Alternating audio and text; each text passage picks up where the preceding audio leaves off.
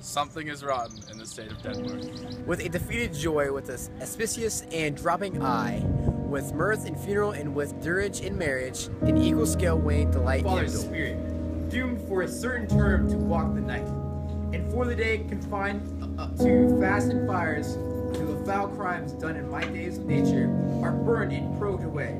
But I am forbid to tell the secrets of my prison house.